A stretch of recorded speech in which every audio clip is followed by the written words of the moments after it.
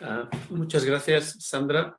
Eh, buenas tardes a todas y a todos. En primer lugar, daros las gracias en nombre de la Fundación Nos Horizons por estar aquí este ratito con nosotros y además, lógicamente, desear que estéis todas y todos en, perfecto estado de salud o como mínimo bien eh, en estos tiempos tan complicados, vosotros y vosotras y vuestras familias, vuestros, eh, las personas más queridas.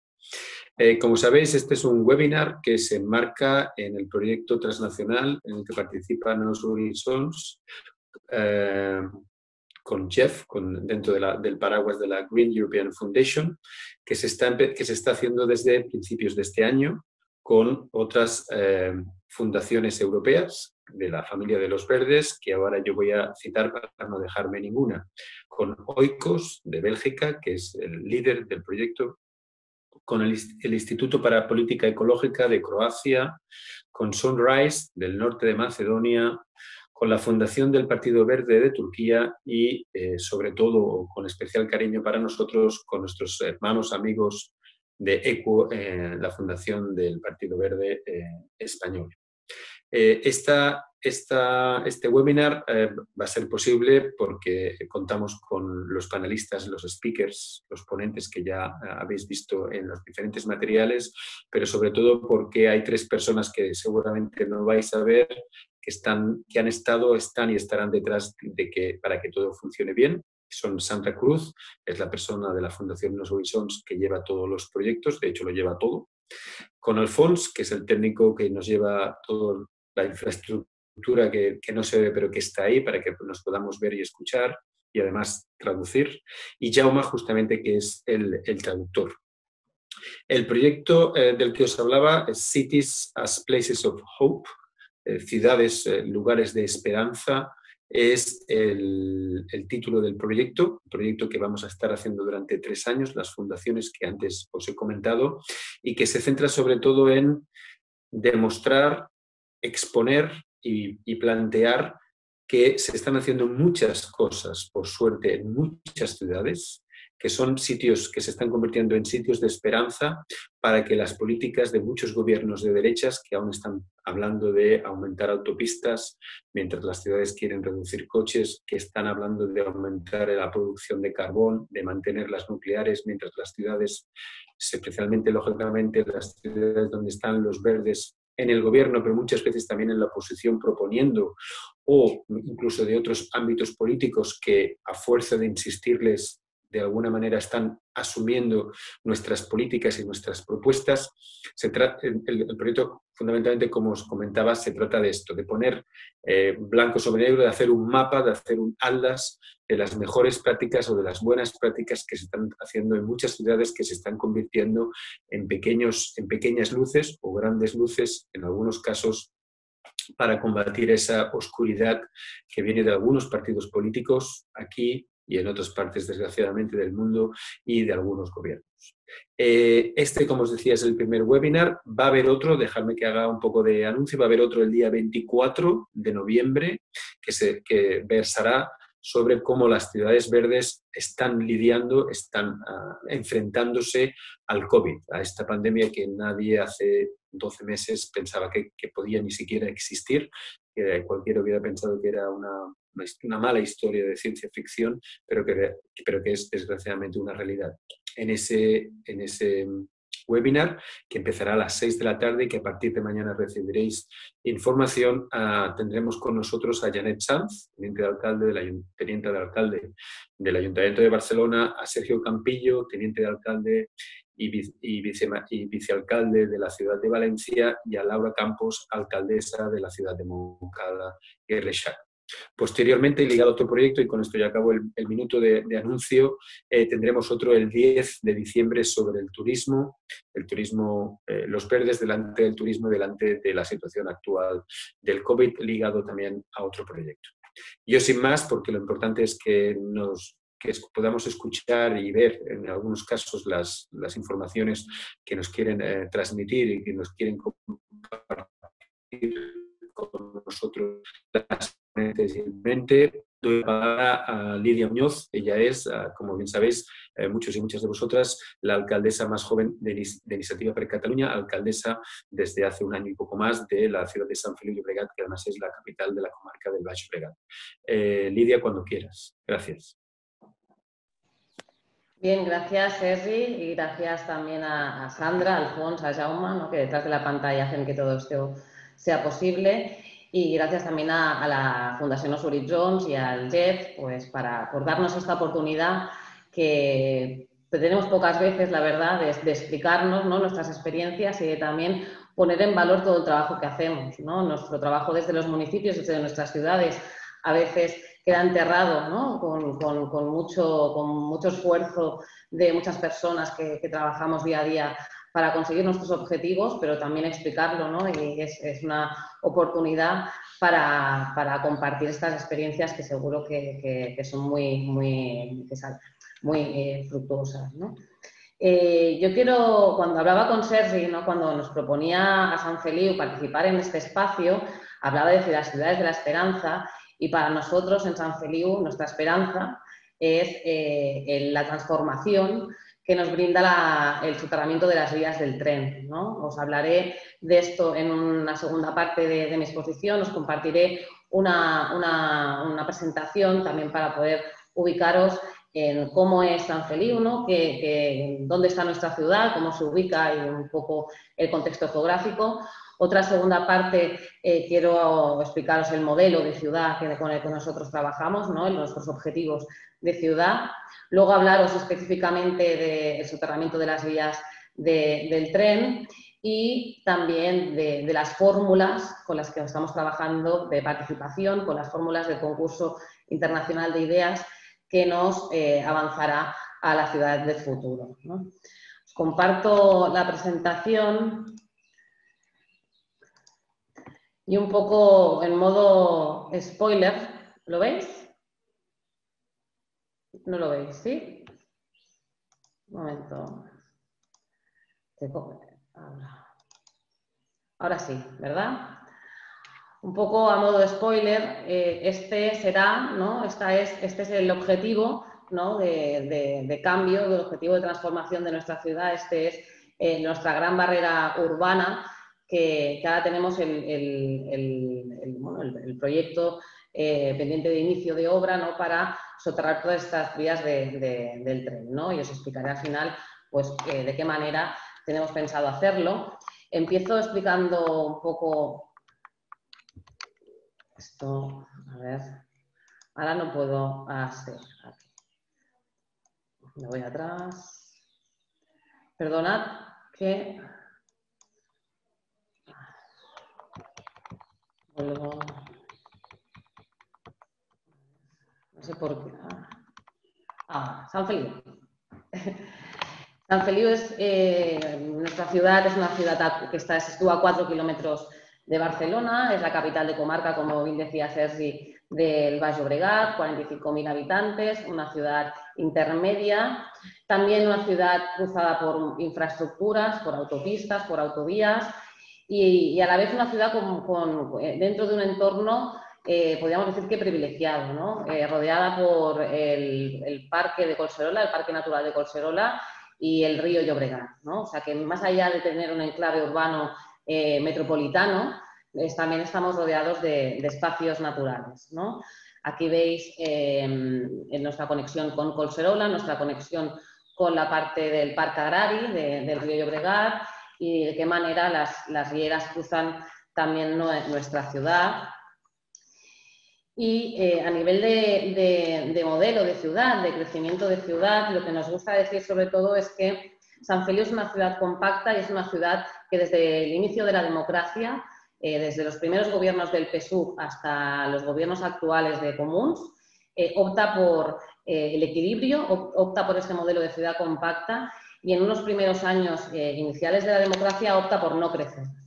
Yo creo que este es un factor importante porque nosotros lo que estamos es gestionando una ciudad, un modelo de ciudad que no es, eh, no es puntual, sino que eh, lleva un largo recorrido de, trabajo de muchos equipos de gobierno, siempre con este objetivo de trabajar eh, en esta ciudad compacta sin barrios periféricos, donde todo, o sea, todo el núcleo urbano es, central.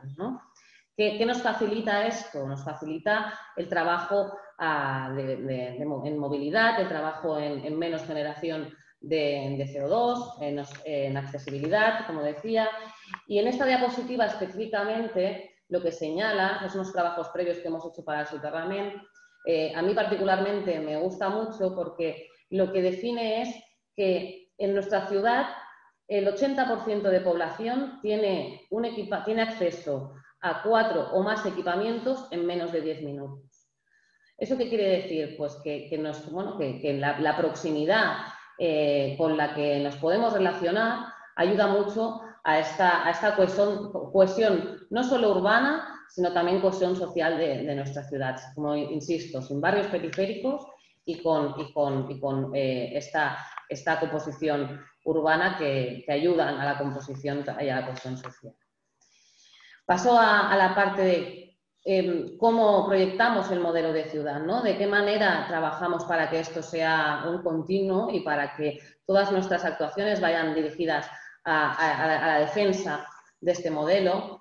Eh, os enseño también alguna diapositiva, no solo, em, no solo en términos de movilidad, como decía, no solo en términos de, no tratárselo eh, en términos de movilidad y de y de concepción urbana, sino también que esto todo nos, contribuye a que nuestra ciudad sea más saludable, a que eh, sea más sostenible a todos los niveles, a que la visión de género también esté incorporada en, todas nuestras relaciones humanas, a que también las mujeres tengamos espacios eh, seguros, espacios cómodos y espacios de relación en todos los barrios y, de una manera equilibrada, a una integración del verde, tanto urbano como interurbano, eh, de una manera cómoda.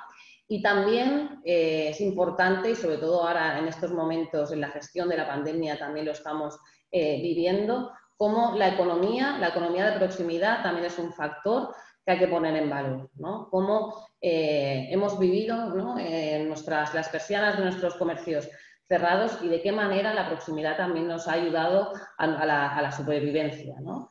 Y poner en valor estos ejes cívicos también es uno de los objetivos con los que trabajamos desde nuestra ciudad. Hablamos de la ciudad de 15 minutos. Ahora, un poquito más adelante, también os explico eh, en, qué, consiste. Eh, os, primeros los, eh, os paso em, esta diapositiva que está bastante um, sobadita, ¿no? es bastante manida. Yo creo que cuando, cuando vemos esto también nos refleja el modelo de las superillas de Barcelona. Eh, no sé si fue primero Barcelona o qué, eh, o qué, le puede poner el, cascabel a, estas ideas de, las superillas. Nosotros nos basamos también en, el trabajo con la Agencia de Ecología Urbana, tal y como Barcelona también lo hizo. Barcelona es referente, pero nosotros en nuestra micro eh, adaptación también trabajamos con este mismo modelo, ¿no? Cómo potenciar la movilidad em, interna o perimetral para expulsar eh, la, movilidad de paso.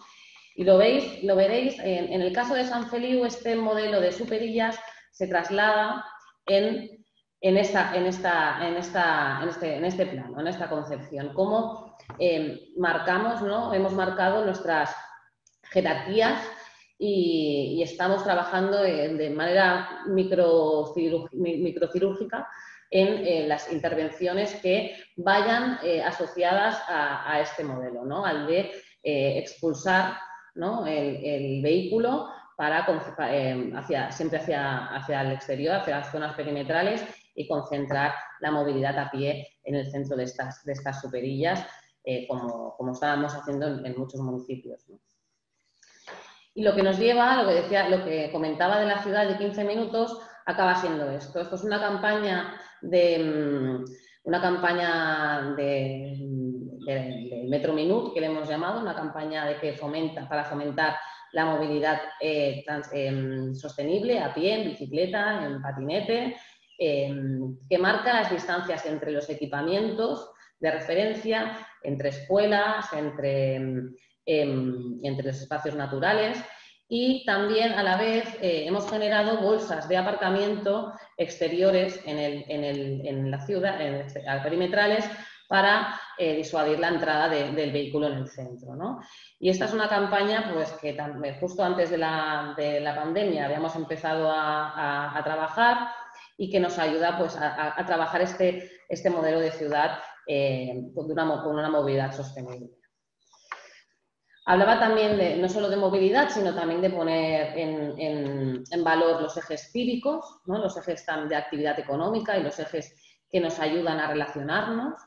Y aquí pues tenéis otro, otro resultado del trabajo que estamos haciendo de eh, aspectos a potenciar en, el ámbito de, los ejes cívicos para que también sean creadores de, actividad económica y para que también nos sirva para em, un nexo de unión entre las zonas verdes, tanto del Parque de Colserola como del Parque Agrari, y a la vez generar más verde urbano dentro de, estos, de estos ejes cívicos. Este sería, eh, este otro, ámbito de actuación dentro de toda la, poliedria de, los, aspectos a trabajar como ciudad verde, que es la, creación de la red de, carriles bici y que aquí veis, por ejemplo, la, evolución que, nuestra ciudad ha ido, trabajando con el objetivo de crear una red, eh, una red de carriles bici que no solo sea eh, de postureo, ¿no? sino que sea realmente útil eh, muchos municipios se han dedicado a hacer carriles bicis con una urbanización muy costosa o con una urbanización para, eh, sumar kilómetros a, esa red. Lo que importa realmente y lo que detectamos y de la manera con la que estamos trabajando es que estos recorridos no tienen eh, sentido si no son lineales, si no son útiles, si no están bien estudiados, si, no, si en, nuestro caso, que tenemos una ciudad con pendiente, que vamos del río a la montaña, siempre eh, trabajemos los, los caminos con, menos pendiente, los caminos más cómodos, más seguros, para que no solo sean útiles para el ciclista eh, eh, pro, sino que también ayude a, los caminos escolares seguros y también que facilitar el movimiento ciclable para todas las edades. Hemos hablado de, hablado de movilidad, hablado de ejes cívicos, de carriles bici y también la consolidación de los ejes verdes es otro de los trabajos con los que hemos puesto el foco y aquí también veis que en este modelo de ciudad compacta siempre se ha cuidado eh, la generación de espacios verdes relacionados con los barrios. Tenemos bolsas de, verde urbano importantes, tenemos pulmones eh, eh, importantes en nuestra ciudad, más allá de, de, Colserola y del Río, que siempre también atraviesan, eh, estos ejes cívicos. Y, yo creo que, igual que hablábamos de, que en el modelo de ciudad compacto, mm, el 80% de personas, ¿no? esa diapositiva que os decía que me gusta tanto, el 80% de, ciudadanos y ciudadanas de nuestra ciudad tienen más de cuatro más equipamientos a menos de 10 minutos, el mismo caso es el de las zonas verdes. ¿no? Siempre hay eh, un gran parque, un gran pulmón para, eh, compartir eh, pues, la, vida, la vida cotidiana. Os hablo del proyecto de, que os decía al principio, os enseñaba esa diapositiva del camión en, la vía. la vía, de, la, reivindicación del soterramiento de, las vías del tren en San Feliu es, una, es una lucha que llevamos eh, librando desde hace más de 40 años y eh, a nivel, no os voy a explicar 40 años en, 5 minutos, pero a nivel eh, de resumen, ¿no? podría decir que después de muchas luchas, en el 2010 se consiguió una redacción del proyecto por parte del Ministerio de Fomento, que es el responsable de la, de la infraestructura. hubo una crisis también en ese momento y quedó ese proyecto en un cajón. Se retomó en 2018 es cierto que tanto el Ministerio como ADIF, que es el gestor de la infraestructura, eh, ha cumplido con sus, calendarios, con, con la ciudad, eh, y ahora mismo estamos a punto de empezar la obra. ¿no? Ese proyecto de 2010 se actualizó en 2018, se, licitó, se adjudicó y ahora estamos pendientes de, iniciar la obra próximamente. Con la pandemia ha quedado el tema eh, un poco para, paralizado, pero es cierto que, bueno, que, están todos los trámites ya muy avanzados. Y las vías del tren en San Feliu, ahora veréis algún otro plano, suponen eh, una gran barrera urbana, como, como, veréis, y la oportunidad que nos brinda este, este, proyecto eh, es de continuar tejiendo nuestra ciudad, no solo urbanísticamente, como os decía, sino también socialmente, y, la generación de un espacio público eh, sin precedentes, yo creo que en, ninguna, en ninguna ciudad de, nuestro entorno. Mm, y, a la vez eso también ha sido un motivo de, drama para la ciudad, ¿no? ¿Por qué no decirlo? También es un motivo de, ha sido un motivo de atropellamientos, de accidentes constantes y nuestra ciudad vive con ese duelo constante por el, por, el, soterramiento del tren. Aquí veis la ciudad eh, eh, hace unos añitos, la ciudad actual que, ahora conocemos y este, como veis, este es el ámbito de, será el ámbito del concurso internacional de ideas y es el ámbito que se, libera con, la, con, el soterramiento de las vías del tren. ¿no? Esta esperanza que hablaba al principio ¿no? quiere decir que este, este, modelo de ciudad con el que hemos trabajado muchos años se verá completado una vez que se podamos soterrar estas vías del tren, que es un proyecto, como os decía, que está a punto de, de iniciarse la obra. ¿Qué nos brinda, esta, oportunidad? Pues la, oportunidad, es de diseñar la ciudad, como decía, tal y como queremos, ¿no? Y, es, este, con esta ilusión que desde San Feliu abordamos este proyecto. Para que os hagáis una idea, a, nivel transversal, nuestra ciudad bueno, está totalmente cruzada por la vía del tren, esta sería la, vía del tren. Estos son los pasos a nivel rodado eh, reales que, podemos pasar, desde la, eh, uno en la carretera Laura Miró, la antigua Nacional 340, bueno, la Nacional 340, eh, unos, unos pasos soterrados por, a esta altura, el paso a nivel, el paso a nivel está bajado 54 minutos de cada hora. O sea, nosotros tenemos las barreras del tren, de las barreras del paso a nivel, 54 minutos bajadas de cada hora, por, debido a la frecuencia de trenes que pasan por aquí lo vemos normal, nosotros lo vemos habitual, ¿no? Hay gente que, viene a San Feliu y alucina, ¿no? ¿Cómo podéis?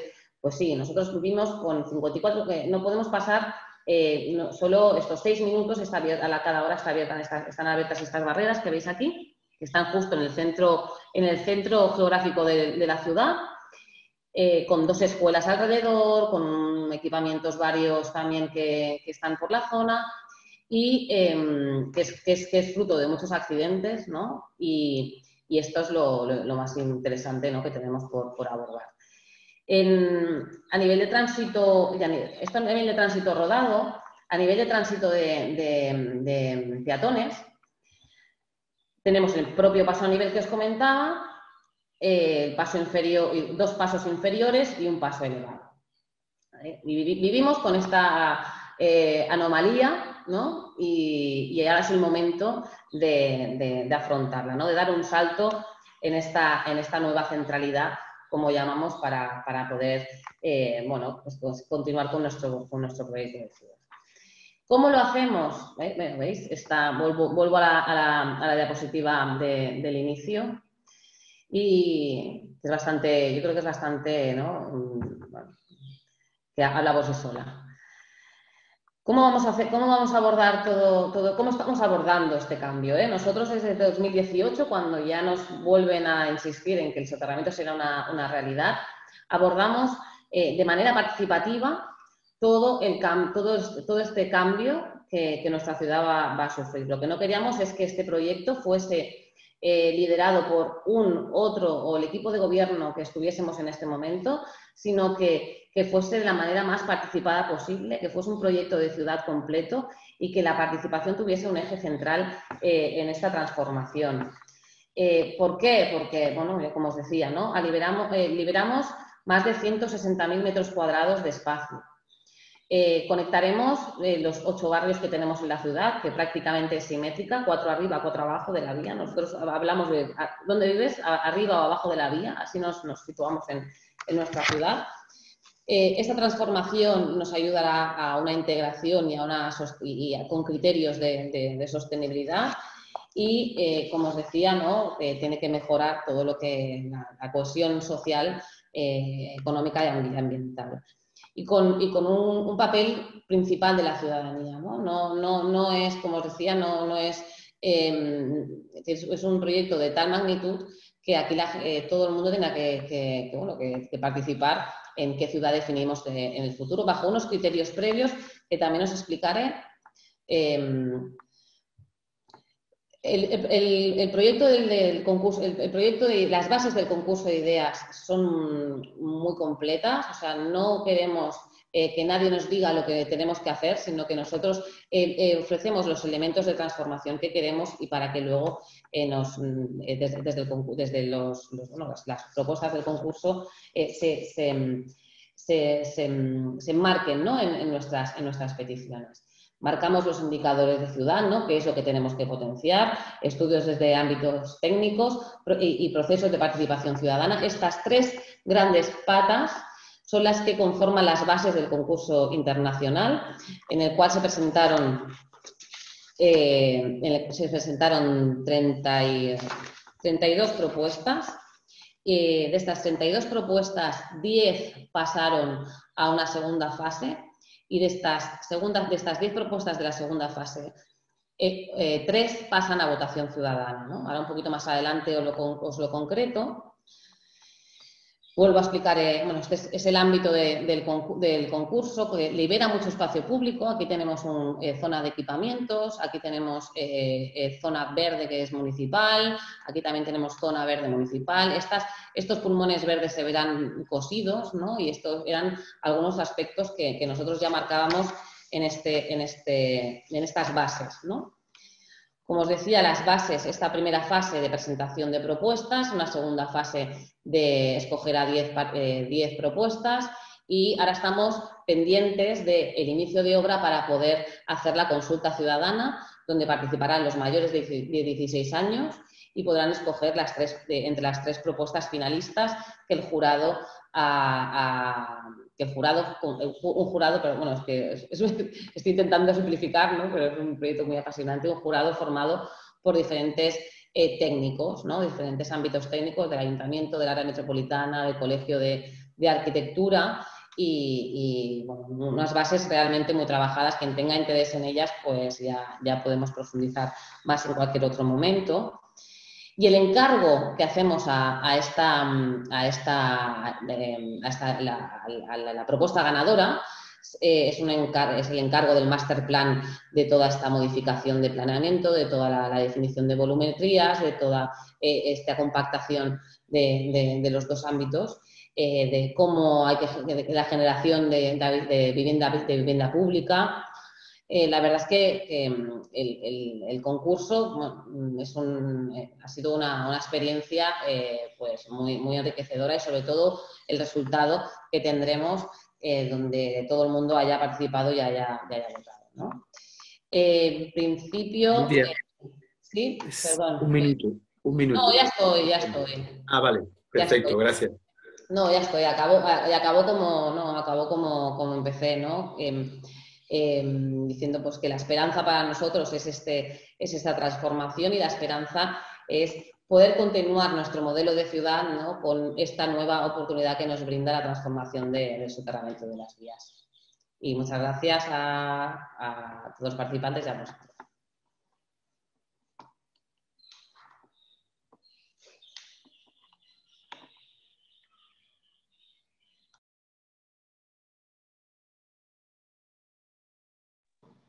Sergi, Sergi, estás sin voz. Me, has, cortado y ahora no puedes hablar. Vale, ya está, ya está, perdón. Que digo, perdona, eh, Lidia, eh, gracias, alcaldesa. Gracias por, por, esta explicación, porque además, para la gente que no sois del Valle Bregat, yo soy del Valle Bregat, eh, que no conocéis San Feliu, la verdad es que ha hecho una, una, descripción un poco, incluso diría que modesta, porque San Feliu es una ciudad muy bonita, tienen hasta cardenal, tienen hasta arzobispo, o sea que tienen de todo. Y, la verdad es que nos has dejado ahí con las ganas, supongo mucha gente, por lo menos yo, de ver cómo acaba. Por lo tanto, como el proyecto hemos comentado que en principio va a ser para tres años, pues a ver si, si eh, un webinar o, un webinar y, y podernos ver eh, todos y todas, por lo menos algunos en vivo, pues a lo mejor para el año que viene puede ser otra, otra intervención. Eh, Sabéis todos y todas que va a haber una, lógicamente, un apartado de preguntas y respuestas. Los vamos a agrupar, si os parece, todas juntas al final de la sesión, porque seguramente además habrán eh, posibilidades de que haya temas, preguntas y respuestas que se puedan conectar entre, entre otras. Eh, yo le voy a dar la palabra ahora a Alba Bou. Alba Bou es la teniente de alcalde, es teniente de alcalde del Ayuntamiento del Prat de Llobregat. Seguimos en el Baix Llobregat, eh, seguimos dentro del área metropolitana. Ella tiene ya muchos años de experiencia y además ha, sido, ha tenido responsabilidades en apartados eh, o departamentos, regidorías muy eh, complementarias y diferentes dentro de la ciudad del Prat y la verdad es que es un placer para mí y un honor también poderla presentar. Alba. Buenas tardes. El honor es mío, básicamente porque algunos de vosotros lo sabréis, pero hasta hace cuatro días Sergi era mi jefe, con lo cual eh, Pensé que nunca lo diría, pero se le echa de menos incluso. Eh, buenas tardes a todos y a todas. Gracias por, participar y por pensar que, por la parte que me toca, pues que tendríamos cosas a aportar en este webinar. Evidentemente, pues gracias también a la, a la, la GEF, a la Green European Foundation y a la Fundación Nos Horizons, evidentemente, por, eh, por organizarlo. En este formato que, bueno, pues que no sé si nos tendremos que acostumbrar durante mucho tiempo. Espero sinceramente que no. En cualquier caso, pues gracias por brindarnos la oportunidad. Como decía Sergi, pues eh, actualmente soy la teniente de alcaldía de Economía, Vivienda y Calidad Democrática. Eh, me gustaría mm, primero de una manera muy breve eh, exponeros de, dónde vengo, cómo es la ciudad de, dónde vengo y después lamento mucho tendréis que verme a mí porque no he preparado ninguna, ninguna, ninguna presentación como si lo ha hecho Lidia, pero sí que me he permitido el lujo de, de poder pensar un poquito y responder a algunas preguntas que me parece que es importante también que entre todos nos hagamos. Como os decía, soy la teniente alcalde de una ciudad de 64.000 habitantes, que se sitúa muy cerquita de la ciudad de, donde Lidia es alcaldesa. Eh, mi ciudad se llama El Prat de Llobregat y es eh, una ciudad de 64.000 habitantes que se sitúa justo en el medio de uno de, las, de los deltas más importantes de, de nuestro país. Nuestra ciudad tiene una extensión de 32 kilómetros cuadrados, lo cual no es ni mucho ni poco, es una ciudad eh, relativa mediana, podríamos decir, em, que tiene un núcleo urbano muy compacto, no tiene eh, áreas residenciales, no tiene barrios desconectados y que está directamente afectada, yo creo que esto es el que, lo que nos convierte en una ciudad especial, por lo menos eh, bajo mi punto de vista, porque está afectada directamente por grandes infraestructuras. De hecho, tenéis que saber, creo que es importante, que el 65% de nuestro término municipal está, está ocupado por el aeropuerto, el, mal nombrado aeropuerto de Barcelona, que en realidad es el aeropuerto del Prat, de mi ciudad. El aeropuerto de Barcelona o del Prat es el segundo aeropuerto más importante de, España. De hecho, eh, ahora mismo en esta situación de pandemia, pues evidentemente ha bajado muchísimo su, actividad, pero es el segundo aeropuerto más importante de España. Y además en nuestra ciudad contamos con parte del puerto de, Barcelona, contamos también con infraestructuras viarias y ferroviarias importantes, tenemos un frente marítimo, un frente litoral importante también y también tenemos un río, así que casi, casi tenemos de todo, menos, eh, menos, un, menos una infraestructura viaria que, que pase por en medio de la ciudad, tenemos prácticamente de todo. Creo que también, al igual que lo ha hecho Lidia, es importante destacar que el Prat está gobernado desde 1979, desde nuestra nueva democracia, por el mismo partido político. Hoy el Prat en Comú, eh, antes Iniciativa, antes el PSUC. Digo esto porque mm, me parece relevante para entender que nuestro modelo territorial no puede entenderse si no es como resultado de un proyecto a medio y largo plazo. No se entiende de otra manera, básicamente para pensar en cómo creamos y cómo construimos las ciudades, eh, las legislaturas de cuatro años es evidente que no nos bastan. Respondiendo, cuando os decía antes que no, he preparado ninguna presentación, pero sí me he permitido pues, pensar un poco, eh, pensábamos en, cómo debe ser o qué le tendríamos que pedir o que exigir a una ciudad para considerarse verde. Esta es la pregunta que yo me, que yo me he planteado a la hora de, participar en este webinar. Em, y creo que coincidiremos que no hay una definición exacta sobre lo que tiene que tener una ciudad para considerarse verde, ¿no? Pero seguramente estaremos todos de acuerdo en que hay algunos elementos importantes o imprescindibles, sobre todo en, aquellos, en aquellas ciudades como la mía, que convivimos en un entorno, en un entorno urbano, básicamente, y en un entorno urbano podéis imaginaros, la cercanía con Barcelona es un entorno densamente poblado y que tiene muy pocas posibilidades de modificar su estructura de superficie. Somos ciudades muy consolidadas en las cuales no, estamos, eh, bueno, no, podemos crecer demasiado y por lo tanto, eh, bueno, estamos muy, digamos, muy, delimitados, delimitados en cuanto al planeamiento. El Prat, como os decía, se encuentra a escasos 10 minutos de una de las grandes ciudades europeas, que es Barcelona, y como os explicaba al principio, pues eh, tiene algunas características que la hacen especial. Y en este contexto, pues básicamente, bajo mi punto de vista, em, me gustaría hablaros de tres elementos que para mí son imprescindibles para convertirse o para considerarse una ciudad verde. Tres elementos. El primero, necesitamos entender el territorio como una infraestructura verde ese concepto que, me gustaría que todos intentáramos eh, introducir en nuestra manera de pensar en las ciudades. ¿no? Este, para nosotros este ha sido un elemento importantísimo, para, para el PRAT ha sido decisivo para superar unos retos territoriales que nos ha planteado tener, como os comentaba, grandísimas infraestructuras al servicio del país y están ubicadas en nuestro término municipal.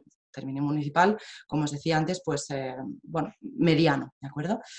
Las ciudades metropolitanas necesitamos eh, construir las infraestructuras verdes en contraposición con aquellas otras infraestructuras a las que estamos más acostumbrados, las, clásicas, y que normalmente pues lo que hacen con nuestro territorio es sobre todo deteriorarlo, lo hacen habitualmente más pequeño, lo hacen menos continuo, cosa que es súper importante la, continuidad de, los espacios urbanos, para muestra un botón el, ejemplo que nos explicaba la alcaldesa de San Feliu.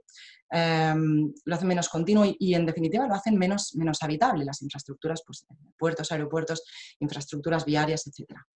Con lo cual em, necesitamos utilizar el paisaje, el agua, la biodiversidad, los, los conectores ecológicos, los espacios libres en definitiva, como un elemento más para construir las ciudades. No es un añadido, sino es un elemento más para construir las, y para consolidar nuestras ciudades. En nuestro caso, en el caso del Prat, hace 20 años, y seguramente Sergi tiene más, eh, más información histórica que yo para compartir con vosotros en este aspecto, pero en nuestro caso, en menos de una década, en la década de los 90, tuvimos que afrontar en nuestro término municipal el desvío del segundo río más importante de Cataluña, el río Llobregat, porque necesitamos permitir una ampliación del puerto de Barcelona. Y a la vez, este proyecto tenía que pasar, tenía que hacer las obras, digamos, a la vez que afrontábamos la ampliación también del aeropuerto. El aeropuerto necesitaba ampliar su, superficie y, con lo cual teníamos que hacerlo compatible. Todo esto en 32 kilómetros cuadrados. Con lo cual, para el gobierno local, la necesidad de compatibilizar el crecimiento territorial de estas dos grandes infraestructuras del país, en la que os podéis imaginar que nadie nos preguntó prácticamente la opinión, eh, teníamos que hacerlo a cambio de ceder muchos kilómetros de territorio natural. Para nosotros fue muy difícil de entender y evidentemente y para la eh, mal nombrada clase política es difícil de explicar a nuestra ciudadanía esta situación. Con lo cual aquello hizo imprescindible provocar una una concertación política que cada vez está menos de moda, concertación política pues, con el gobierno del Estado, en nuestro caso, el gobierno estatal, el gobierno autonómico, el gobierno catalán y evidentemente pues, nosotros como gobierno local. Y eso no fue nada fácil. Era necesario, desde nuestro punto de, punto de vista, preservar el bien común, lo que, lo que entendíamos que era el bien común, que era el territorio. Porque lo que queríamos, lo que era imprescindible, era garantizar a las futuras generaciones el derecho a disfrutar de la ciudad. ¿Y qué era o qué es todavía hoy para nosotros la ciudad? Pues en nuestro caso, una playa de 7 kilómetros de largo, el parque agrario, que no es simplemente eh, pues campos de cultivo, es un supermercado de, Barcelona que alimenta de, forma sostenible y saludable a miles de personas cada año y que además representa también un modelo económico que nosotros queremos promover y sostener son también los espacios naturales, que están protegidos por la Unión Europea por su cantidad y por la calidad de las especies que, conviven en ella. Y todo esto fue posible gracias a, un, como decía antes, a una concertación política, a un gran pacto de Estado, donde el gobierno local no se resignó, como podía haber pasado, no se resignó a convertirse en el, en el patio trasero de Barcelona. Hoy, 25 años después de la firma de aquel gran acuerdo de infraestructuras, el Pacto de Infraestructuras, que le llamamos Plan Delta, pues me parece que podemos, podemos decir que aquello fue un éxito, porque las compensaciones que conseguimos negociar nos, nos permitieron mantener el territorio, mantener este bien común para las generaciones futuras. ¿no? Esa experiencia nos enseñó que las ciudades necesitan como decía al principio, unos espacios de transición que conectan los núcleos urbanos con los elementos de sostenibilidad y, de verde urbano y, lo necesitamos imperiosamente por muchos motivos. Los más evidentes quizás, pues los motivos ambientales, los motivos sociales, ¿no? la mejora del, bienestar físico, del bienestar emocional, los espacios de recreo eh, y de descanso que proporcionan pues, la interacción con la naturaleza, etcétera, pero también unos beneficios ambientales de los que hoy ya no podemos escapar, como son la mitigación de los efectos del cambio climático, que en un territorio costanero, costero pues son tan, tan, tan definitivos, tan importantes, la disminución de la contaminación atmosférica y acústica, conservación de de una biodiversidad que nos costó mucho de, mantener, e incluso la generación de actividad económica con la creación de puestos de trabajo, que hoy está en boca de todos. ¿no?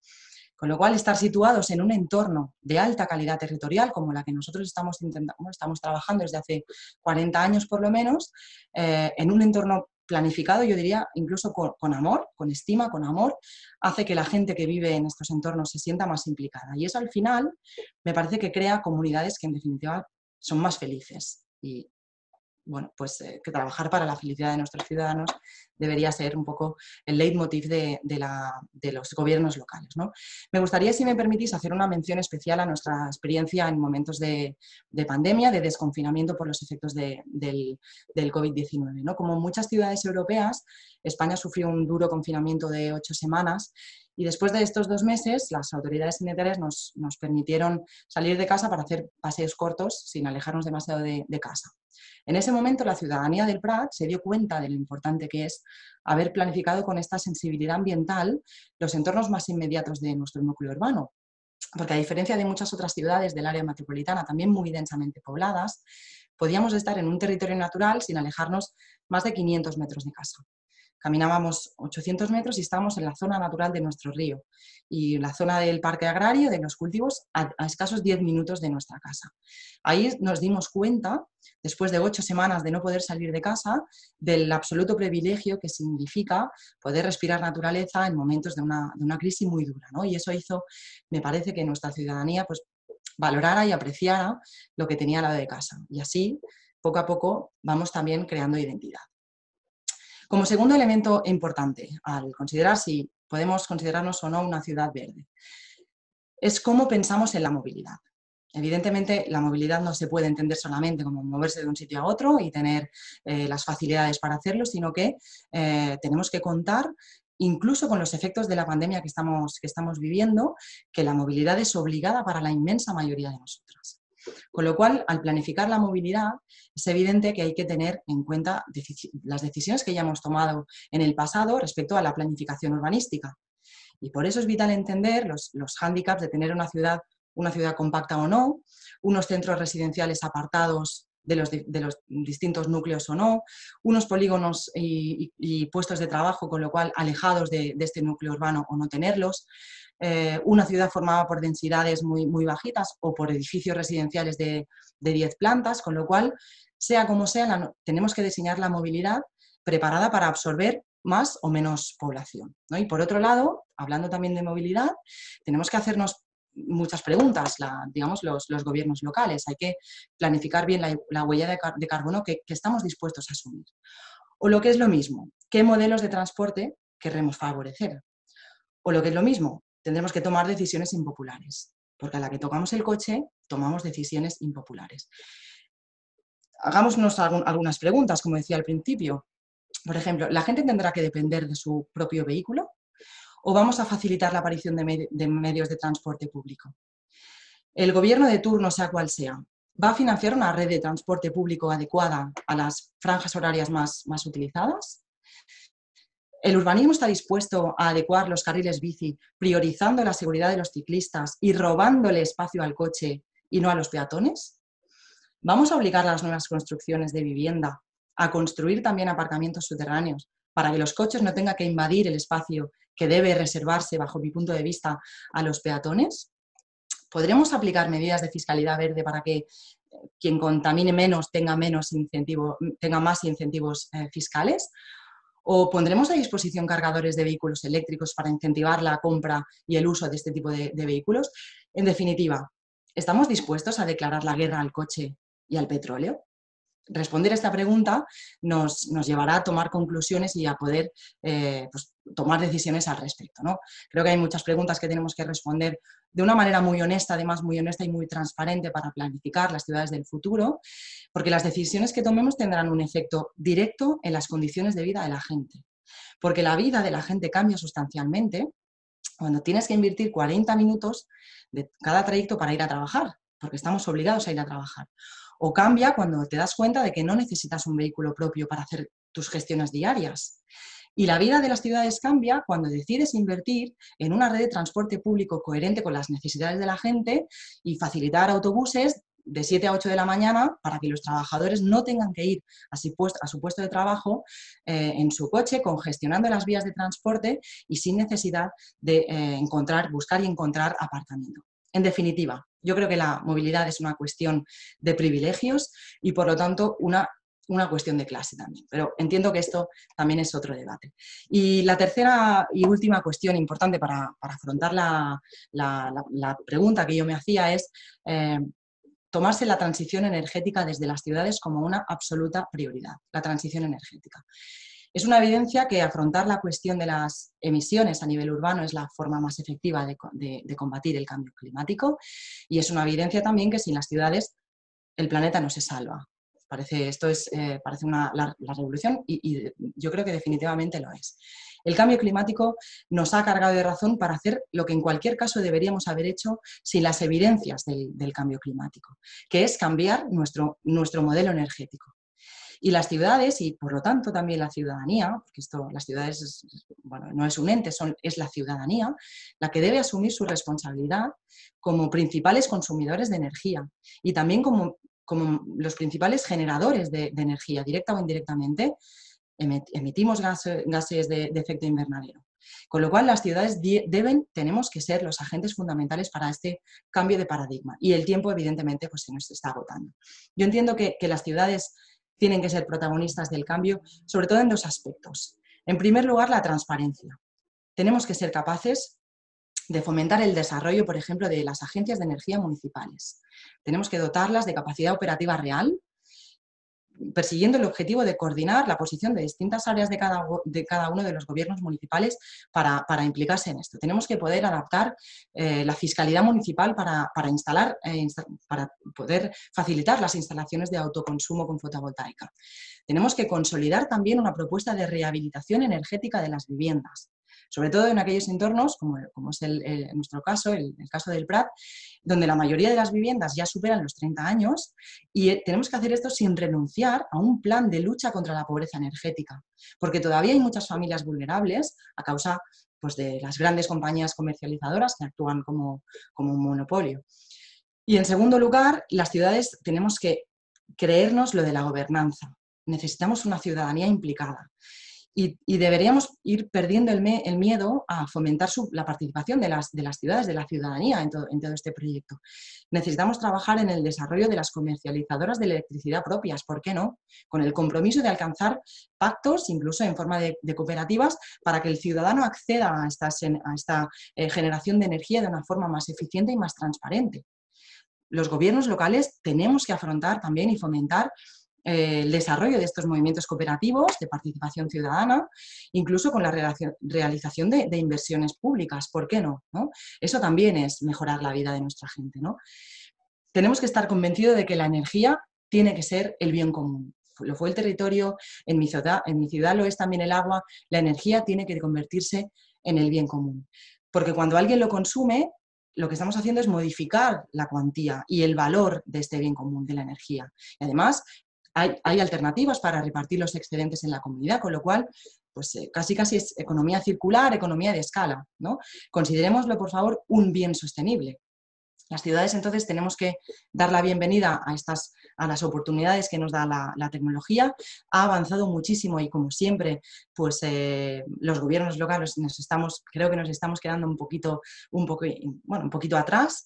Eh, pero, pero deberíamos ser un, bueno, un poquito más valientes a la, hora de, a la hora de hacer unos deberes que otros sectores ya los han hecho, con lo cual nos toca a los políticos estar a la altura de estos objetivos de, nuestras ciudades.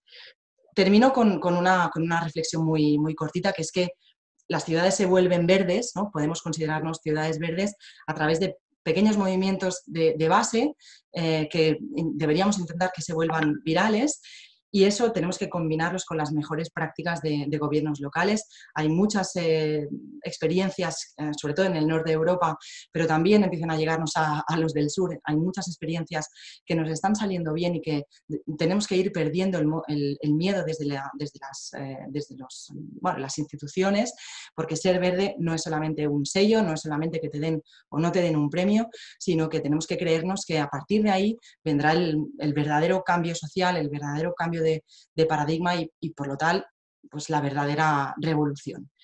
Bueno, hasta aquí no sé si he puesto más, más luz que oscuridad, pero estas son mis, reflexiones que, quería aportar con vosotros. Muchísimas gracias, Alba, por, eh, la cantidad de temas que has tocado y la, y la, claridad en tu exposición. Como os podéis imaginar, yo fui jefe de Alba de cachondeo, porque como podéis ver, Alba eh, podéis ver y, yo lo he vivido, tiene mucho carácter, mucho cerebro y, mucha, y mucha personalidad, con lo cual eso, eso no es fácil ser sujeto. Fue todo, como os podéis imaginar, un gran placer trabajar con ella. Eh, sobre todo porque no era la, la de recursos, la de servicios centrales, que siempre son los malos, que son los que le niegan el dinero y los recursos a los, creemos que nos niegan a los concejales que, queremos hacer muchas cosas. ¿Y qué es lo que me toca hacer ahora, no? Bien. Exactamente. Alba ha acabado su, intervención comentando que, nos llegan muchas experiencias, buenas experiencias del norte, pero que también del, del sur están apareciendo muchas. Ah, hemos visto ahora dos de ellas, y, pero nos vamos al norte. Nos vamos al norte porque para mí es un gran placer eh, presentar e introduciros a Dirk Hollemans. Él es eh, presidente o director de OICOS, es la, fundación, el centro de, investigación y reflexión mm, en Bélgica de la familia, de los, la familia Verde. Ha sido además eh, ex, es ex concejal, fue concejal de la ciudad de Gant, de Gante, en castellano, eh, durante muchos años y además ahora ah, es co-chair de Green European Foundation, por lo tanto tiene creo que todas las, todos los ángulos para podernos, además es profesor de la universidad, me lo dejaba, perdón, Dick es eh, la persona que creo que tiene todos los ángulos para poder eh, cerrar estas tres intervenciones de una forma muy acertada y luego ya entramos en el, en los, en, el debate. Dirk, uh, the floor is yours. Thank you. Okay.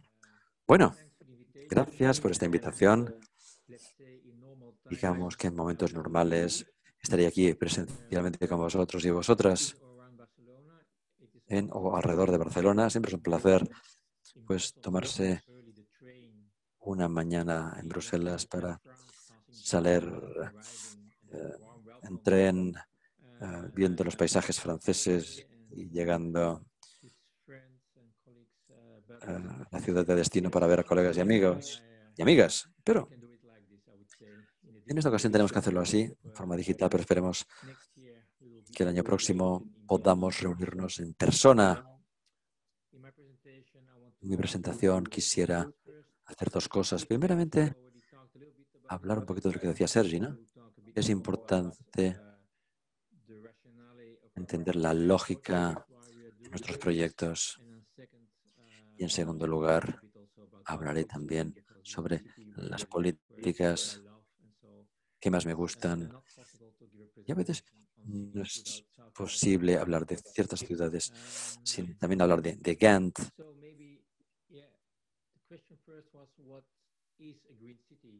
Primeramente, vamos a ver lo que es una ciudad verde. Es importante mirar hacia atrás en la historia. Si vemos en el siglo XX, lo que ocurrió es que las ciudades crecieron mucho.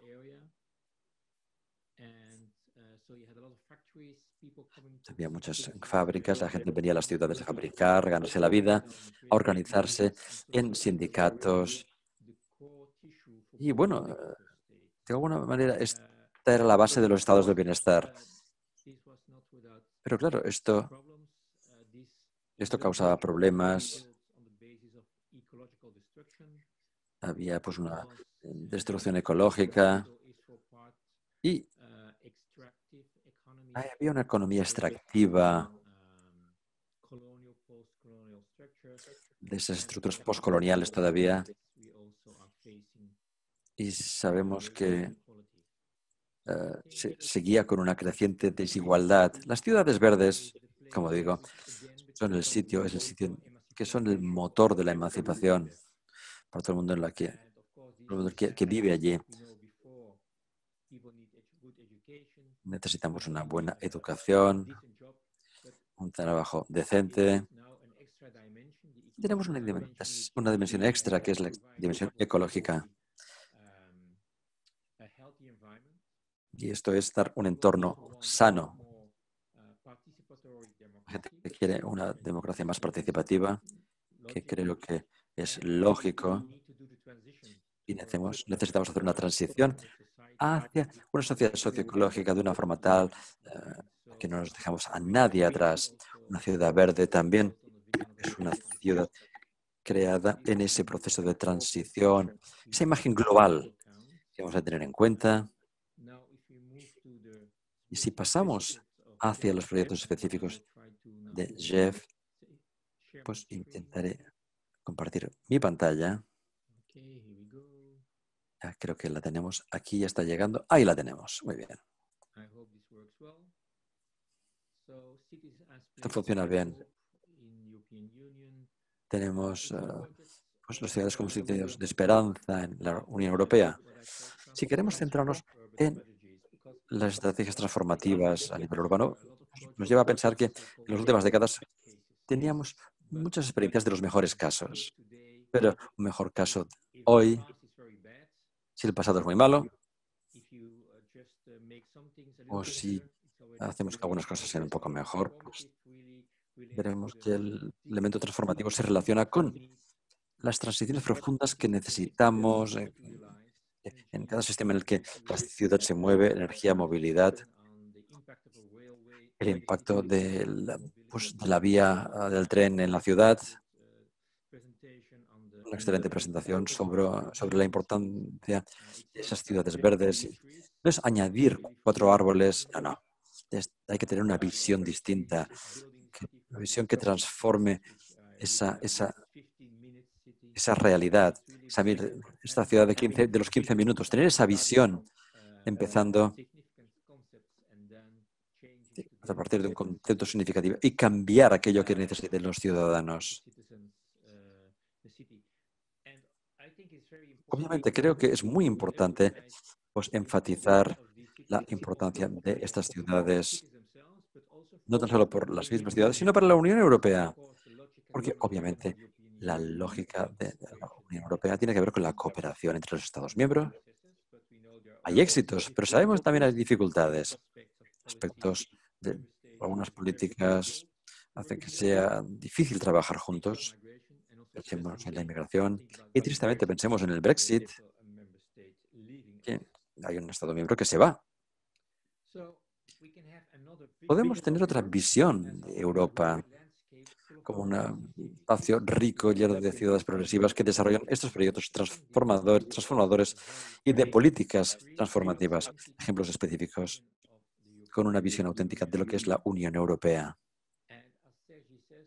Y como dijo Sergi, tenemos grandes diferencias actualmente en ciertos países. También en la misma Bélgica tenemos gobiernos que sueñan en crear más eh, carreteras con más coches, pero al mismo al mismo tiempo en el mismo país, las ciudades eliminan los coches.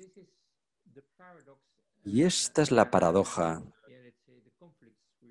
y el conflicto en el que vivimos.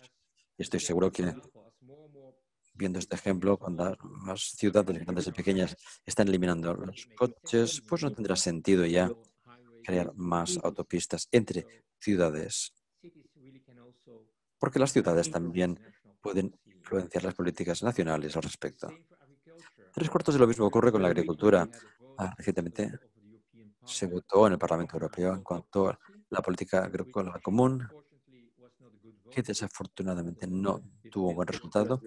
Pudo abordar la crisis agrícola y la producción de alimentos, Pero vemos que cada vez más ciudades desarrollan políticas alimenticias urbanas con esa intención que existe en los distintos niveles y cuantas más ciudades europeas participen en esta nueva política, esta agroecología, menos posibilidades habrá de impedir que el crecimiento de los agronegocios eh, se desarrolle. También quisiera enfatizar que si Gante ha podido transformarse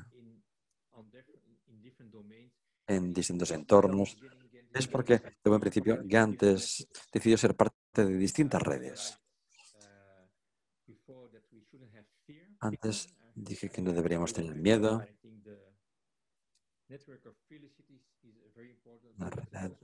La, red de ciudades sin miedo es importantísimo. Y las ciudades de Energy Cities es muy importante porque esto motiva y estimula y da la experiencia y las herramientas para moverse con rapidez en el entorno de la transición energética.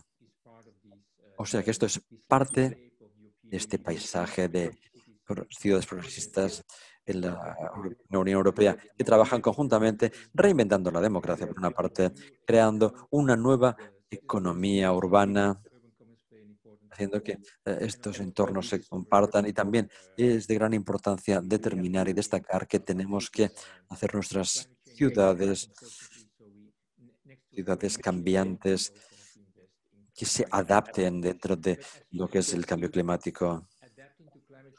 Adaptarse al cambio climático no tiene que ser nada feo ni nada malo. No, más bien diría al contrario. Hay que aceptar el reto. Hay amenazas, obviamente, pero también hay oportunidades de hacer que nuestras ciudades sean más atractivas. Quisiera ahora hablar brevemente de dos aspectos de la ciudad de Gante que creo que realmente pues, eh, implica grandes cambios. Primeramente tenemos el plan de movilidad, tenemos una imagen, imagen que yo creo que es muy ilustrativa. Esto es lo que llamamos una carril o una, una calle de bicicletas. Los coches son invitados, aunque las bicicletas son los anfitriones. Se puede como máximo a 30 kilómetros por hora y los coches han de estar por debajo, detrás de las bicicletas. Ha sido un cambio de mentalidad, ¿no? La gente que lleva coche tiene que cambiar de chip, quedarse detrás de los ciclistas. ¿Quién decidió esto? ¿Cómo es posible? Dirán algunos. Pero este es un ejemplo del propósito de la planificación de la movilidad. Más espacio para los ciclistas. Y si tenemos menos coches, inmediatamente también tenemos una mejor circulación con el transporte público.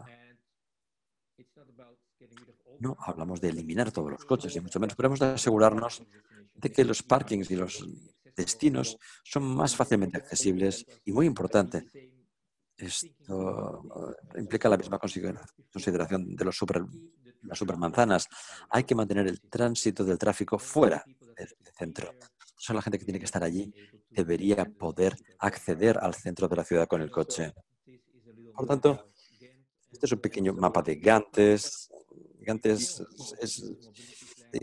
muestra el antes de producir el plan de movilidad. El 11% del tráfico pasaba a través de la ciudad. El 28% iba a una parte importante de la ciudad como esta de aquí. Y significaba que mucho tráfico eh, se quedaba en algunos eh, barrios de vecinos, que generaba demasiado tráfico motorizado en el centro de la ciudad. Por lo tanto, la respuesta fue bastante fácil. Este es el centro. Y dividimos eh, la ciudad en seis zonas. Si entras en una de estas zonas a través de las autovías tangenciales, no puedes atravesar esa zona de la ciudad. Tu coche también tiene que llevar desde la zona azul. Eh, o sea, hay que salir de las zonas coloreadas para entrar en otra zona coloreada, utilizando esa tangencial, esa, carretera periférica. Esto hizo que se generó un gran cambio en la ciudad. También introdujimos autobuses de tarde y de noche. El transporte público es gratis para los niños de menos de 15 años, niños y niñas. Y sí, tenemos un centro histórico libre de coches. Toda la gente que tiene dificultades de desplazamiento se ven discriminados a veces. Por lo tanto, decidimos utilizar el autobús que se llama el Walking Bus. Va a 15 por hora, es gratuito. Solo hay que levantar la mano y se para. Y subes y bajas. Dificultad a la gente mayor, a la gente con dificultad de movilidad, pues puede acceder estas zonas de la ciudad. Digamos que esta fue una de las políticas más importantes para responder a una de las críticas históricas. Hay que hacer que las ciudades sean accesibles también para los agentes mayores y para aquellos que tienen problemas de deambulación. Otra cosa es otra cosa estimulante es la cultura del, del ciclismo. Necesitamos vías para las bicicletas, canales de bicis y calles para las bicicletas, pero también esto introduce distintos tipos de bicicletas. Cuidado, hablamos de pequeñas empresas que ahora, como la que vemos aquí,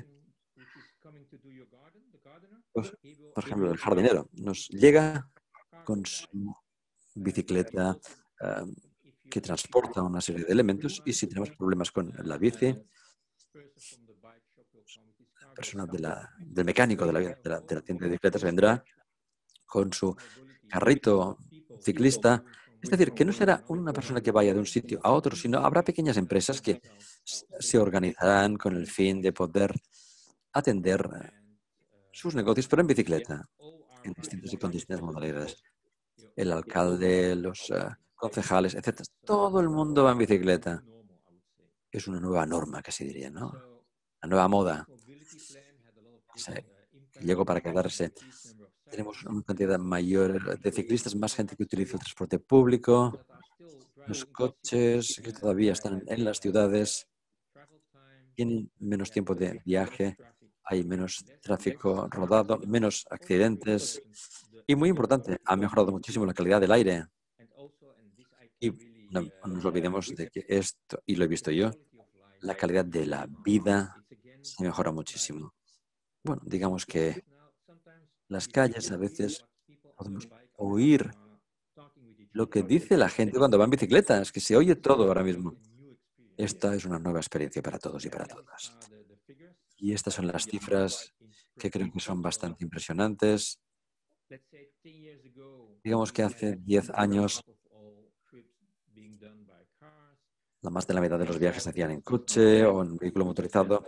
Eh, bueno, en bicicleta pues era un 22%, no era tan importante. Ahora mismo, a cabo de 6-7 años más tarde, podemos decir que más de un tercio de, las, de los viajes, de los desplazamientos se hacen en bicicleta.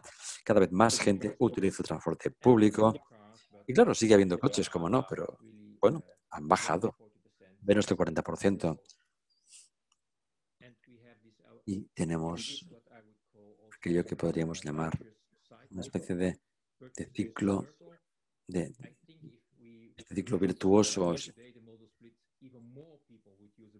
Y sabemos que poco a poco la gente irá utilizando más la bicicleta, porque si tenemos o cruzamos un cierto umbral, ciudades como Ámsterdam, que lo han hecho ya muchos años antes, pues llegamos a este umbral, como decíamos, y tenemos la sensación de que ir en bicicleta es algo normal y la forma quizá más rápida de ir de un sitio a otro pues no, ya nos molesta ¿no? El, tener que coger el, no tener que coger el coche para irnos a, comprar cosas.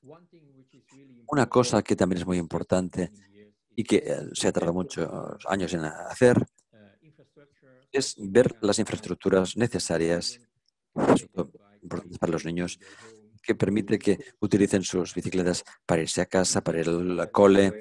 Bueno, es así como yo he vivido el cambio en Gant por los últimos 15 años. Este cambio de infraestructuras específicos para la gente que va en bicicleta. Y como podrán ver, la gente en bicicleta no tiene que cruzar la calle, sino que es más fácil para el transporte público cruzar las calles.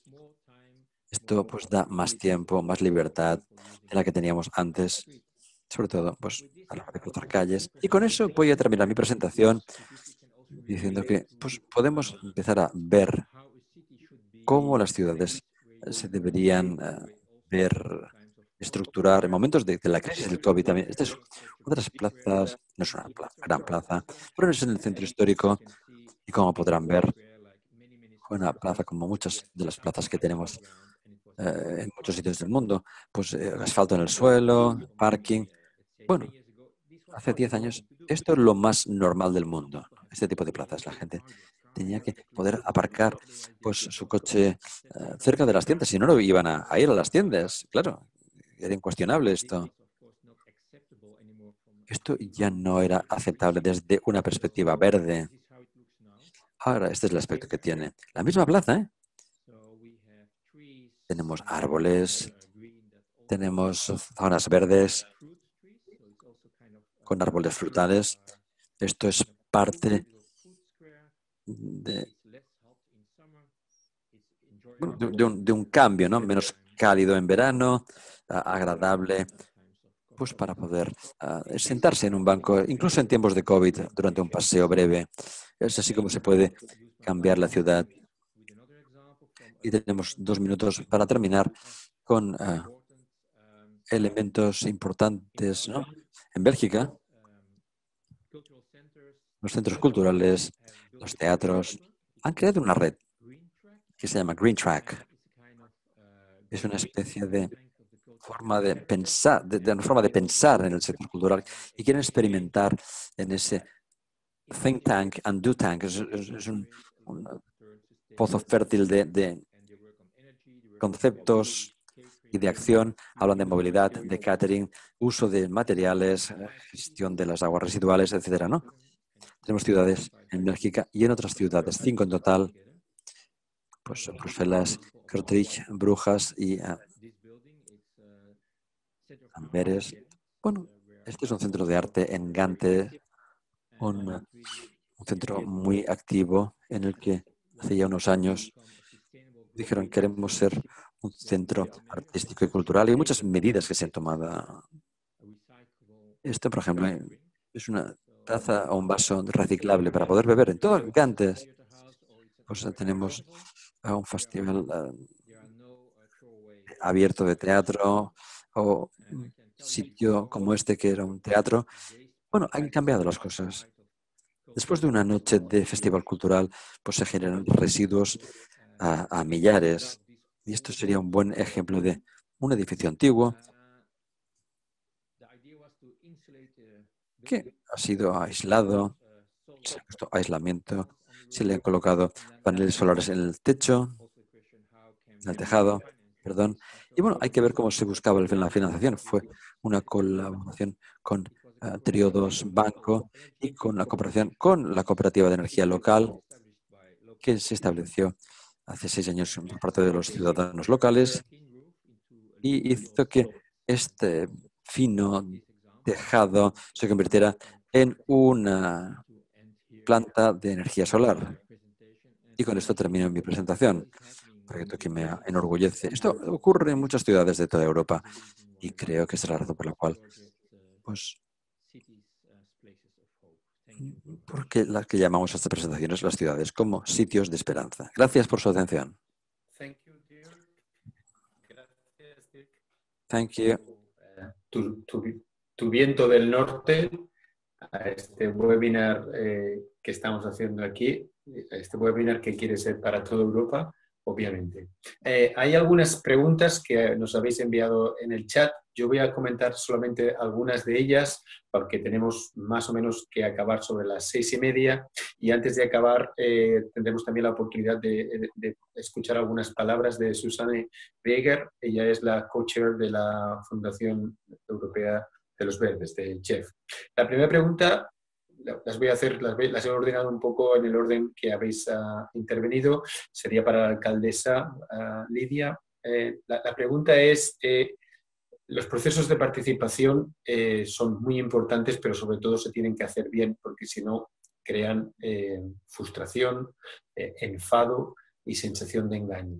La pregunta va referida a con quién, cómo, cuál es el presupuesto de ese proceso participatorio, eh, que es tan importante como tal y por los resultados que puede tener para la ciudad de San Felipe.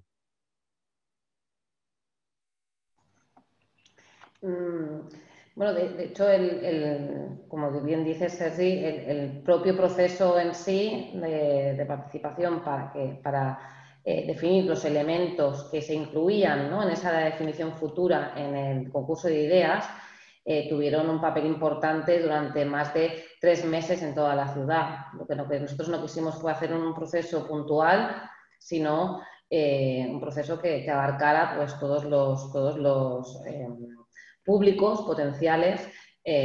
Susan, hola, ¿qué tal? Eh, todos los públicos potenciales de, la ciudad. Fuimos a, y, uno de los retos reales de la participación es también acudir a, la ciudadanía, porque muchas veces hemos cometido el, error de esperar a montar un proceso y esperar que la ciudadanía viniese a participar. Yo creo que eh, nosotros en este proceso lo que hicimos, donde han participado activamente más de 1.500 personas, lo que suponía pues, un porcentaje no muy elevado, pero a la vez sí, significativo. Eh, como decía, fuimos a escuelas, hicimos paseos por la, em, visitas, mm, visitas guiadas a lo que podía ser la nueva construcción de, la ciudad, a todo el, perímetro de, las, de, las, vías del tren. Eh, hicimos, em, asistíamos a actos culturales de la ciudad con paraditas, ¿no? Aprovechábamos los eventos culturales de la ciudad para asistir, ¿no? Para recoger la opinión de, la, ciudadanía, más allá de lo clásico, ¿no? De talleres, de reuniones, de entidades y, este, este, todo, todo, este proceso es el que fue, ¿no? En paquete, en pack, incluido en, en las conclusiones de este proceso. ¿no? Y se hablaba de muchas cosas, ¿no? de cómo tienen que ser los espacios verdes, de eh, espacios para equipamientos, para eh, vivienda social, eh, también temas de patrimonio, ¿no? poner en valor también el patrimonio de la ciudad, en, la memoria histórica, ¿no? de cómo se trata, cómo... cómo ¿no? Me ha gustado mucho lo que decía Alba, ¿no? que hay que hacer las cosas con cariño ¿no? y con amor. Entonces, cómo las vivencias de, nuestra ciudadanía se trasladan también en el futuro, ¿no? porque tampoco hay que olvidar, para nosotros eh, la vía del tren ha sido eh, un elemento de drama ¿no? en muchas ocasiones, pues también que, quede el recuerdo ¿no? de, todo esto, que no se olvide, ¿no? que las generaciones futuras puedan ver cómo su ciudad ha ido mejorando y también para poner, para que, nos la hagamos nuestra y también ponerla más en valor. ¿no? Eh, y ahora llegamos a un segundo punto de participación que será la consulta, la consulta ciudadana. ¿no? Y, es cierto que también estamos em, eh, valorando en qué momento lo hacemos. Eh, os, he, hablado de los aspectos más positivos ¿no? desde, desde, el gobierno y la ilusión que, se puede transmitir pues es mucha, pero la ciudadanía durante 40 años de lucha tiene también un, nivel de, de, falta de credibilidad, o sea, este proyecto tiene una falta de credibilidad detrás importante, ¿no? Mm, porque siempre se ha anunciado que la obra se iba a hacer, que se iba a hacer, que se iba a hacer, y el, el, nivel de, credibilidad es, bajo. ¿no?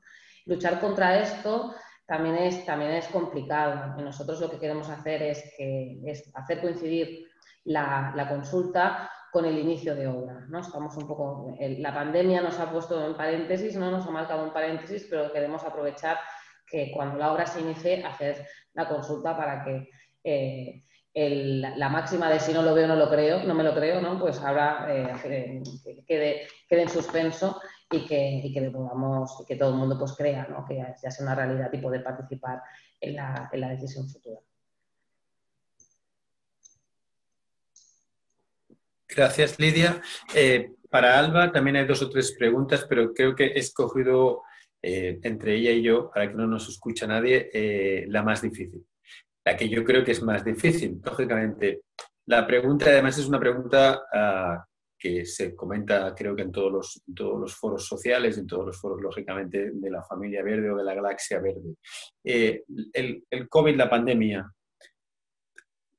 aparta lo verde, o sea, es más difícil que nuestras ideas, nuestras propuestas, nuestros proyectos, nuestras visiones se puedan aplicar porque ahora todo es hablar de lo social, el impacto desgraciadamente social que está teniendo y el que va a tener, el impacto económico y por lo tanto nadie, no se puede hablar de lo verde.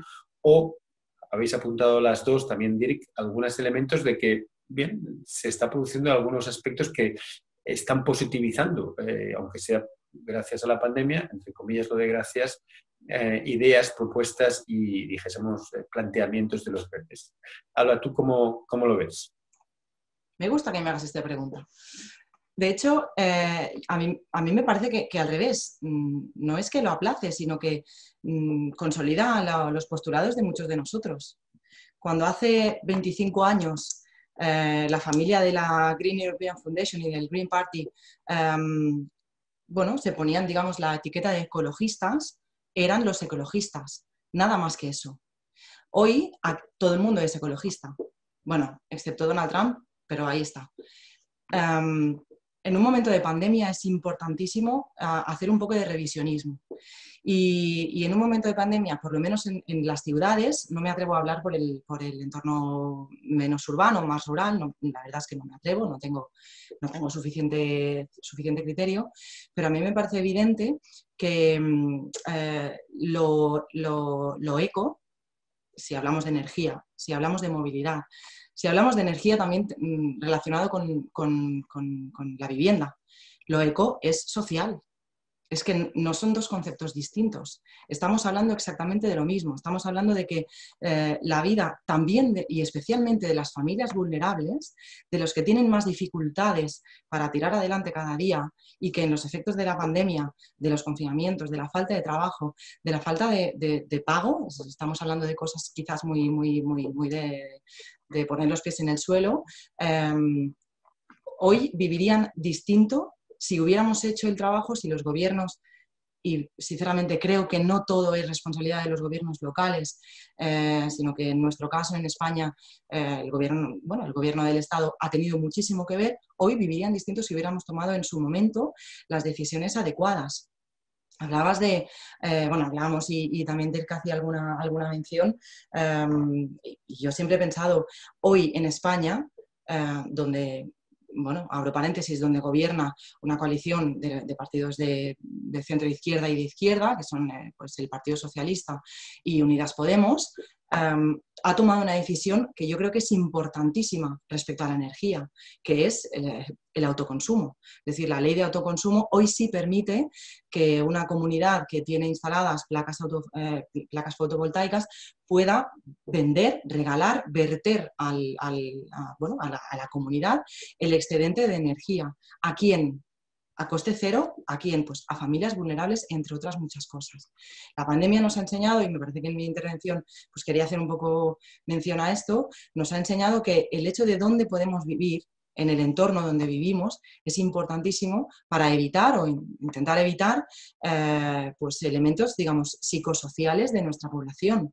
Aquellos que, mm, voy a poner un, un ejemplo que los que nos estén siguiendo y sepan de qué hablo, me parece que me darían la razón vivir hoy en Hospitalet, en, el, municipio más densamente poblado del país, de España, eh, en un momento donde no podemos em, tener movilidad intermunicipal, hoy en la gente de Hospitalet los fines de semana no puede salir de Hospitalet, em, es muy distinto a vivir en una ciudad dejar que ponga la mía como ejemplo, a vivir en una ciudad donde los espacios libres, donde los espacios, espacios tratados con cariño, los espacios que, bueno, no se parecen a los que nos ha enseñado Dirk en su presentación, porque el césped aquí no es tan verde, pero los espacios libres, abiertos, eh, el, cómo hemos tratado la, naturaleza y la interacción de la naturaleza en nuestros espacios urbanos, es, bueno, a mí me parece que es mucho mejor. Por lo tanto, disociar, como hacíamos eh, hace un año, disociar eh, la transición ecológica de, las causas sociales, bajo mi punto de vista, es un, es un, error, porque estamos hablando de lo mismo, estamos hablando en definitiva de, hacer mejores la vida de, nuestra gente y especialmente ayudando especialmente a los más vulnerables. Yo creo que estamos hablando de lo mismo.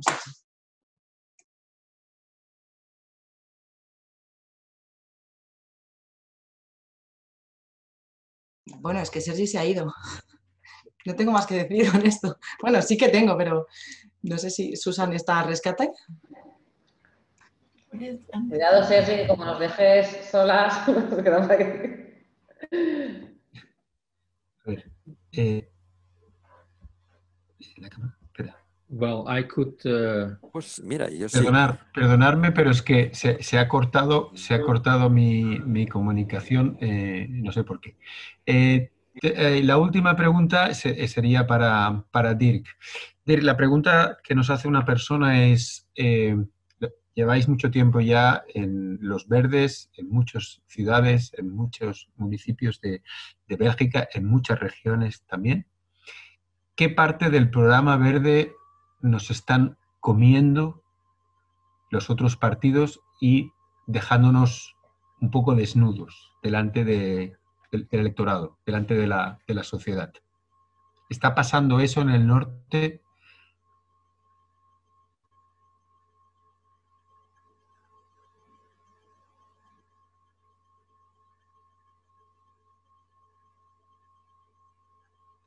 The idea, Dirk, do you hear me? No, no, not at all. I think you have to. Uh, yes. Do you hear me?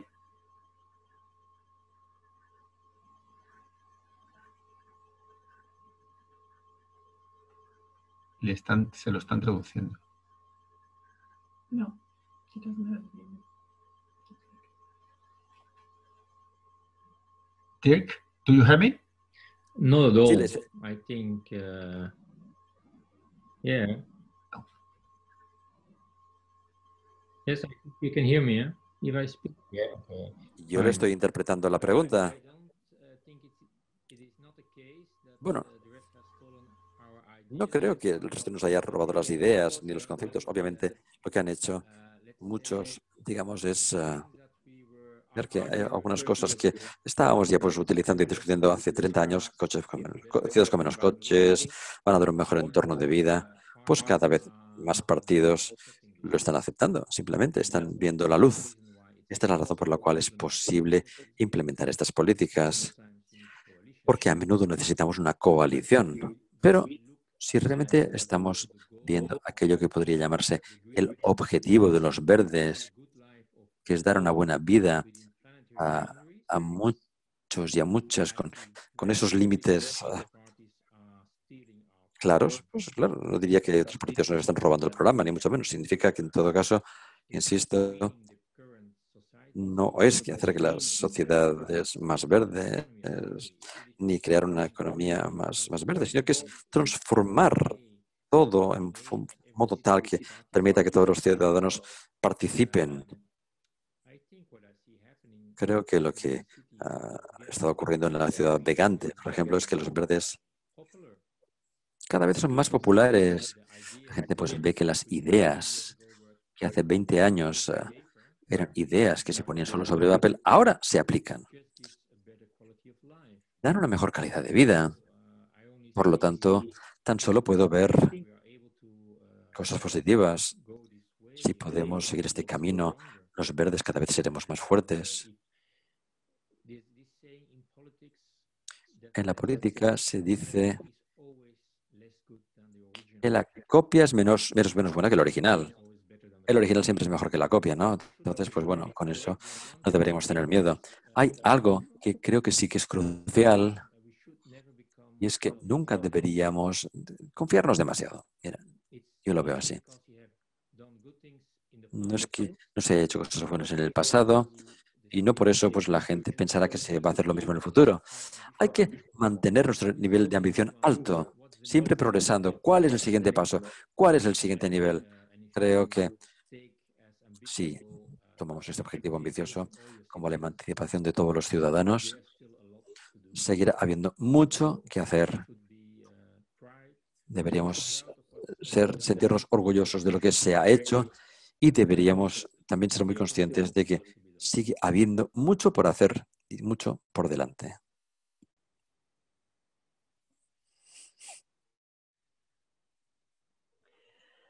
Bueno, eh, eh, buenas tardes. Lo cojo directamente yo ahora eh, mm, porque estamos eh, en el norte de Europa, pero estoy conectado yo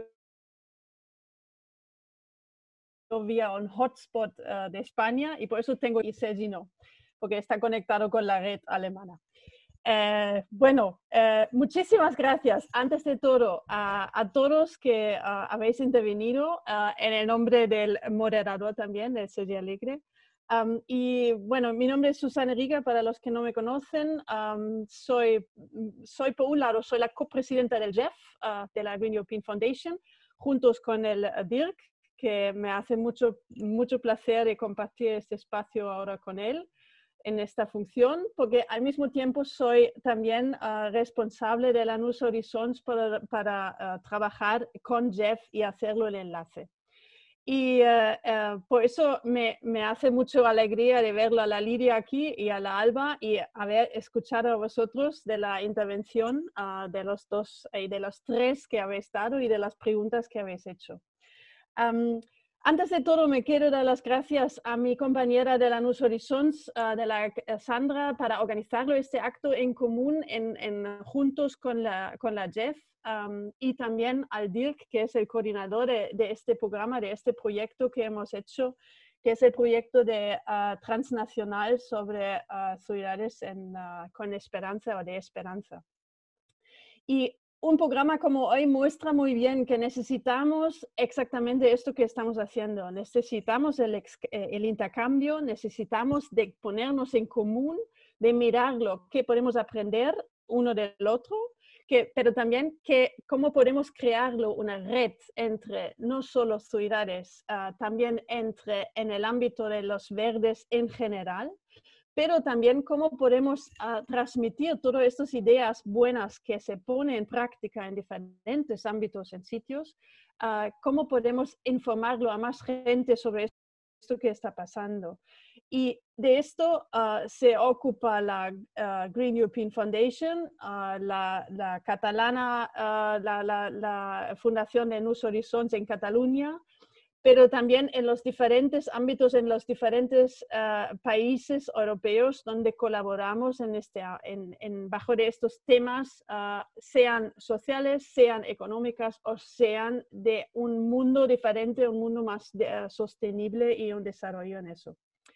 Parte de, de, nuestro programa es esto que habéis visto ahora mismo, son los proyectos transnacionales, pero la Green European Foundation hace también, ahora viene la parte de publicidad, Ah, muchísimas cosas más. Ah, ya he visto que algunos ah, que se han conectado hoy también están en el ámbito de la, de la formación, del capacity building, donde trabajamos muchos y donde pienso que también lo podemos eh, intensificar nuestro trabajo en, en, Europa, de formarnos mejor y de, de ofrecer los espacios de formación en eso.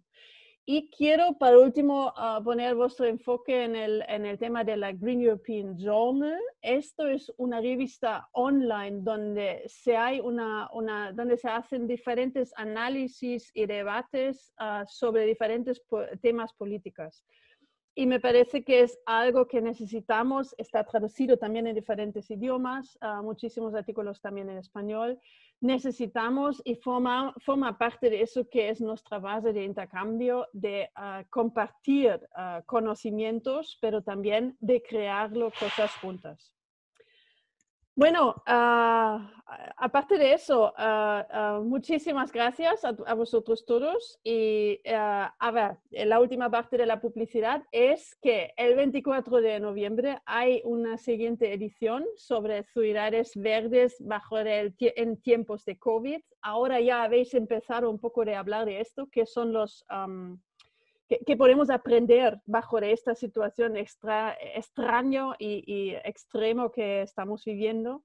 Ah, y ahí seguimos con una conferencia de Zoom ah, en este ámbito y también en este proyecto de uh, Ciudades de Esperanza. Muchísimas gracias a vosotras, a vosotros ah, y que, espero que vemos, nos vemos pronto de verdad, en verdad, en los países, en los sitios donde cada uno está y uh, que, que, podemos superarlo esta, ah, esta situación en que, bueno, que nos cuesta todo, pero que estamos aprendiendo todos en esto un montón. Muchas gracias y que estáis bien y cuidaros y nos vemos. Gràcies, Gràcies a vosaltres. Susana. Gràcies, moltes gràcies a tothom. Thanks. Thanks.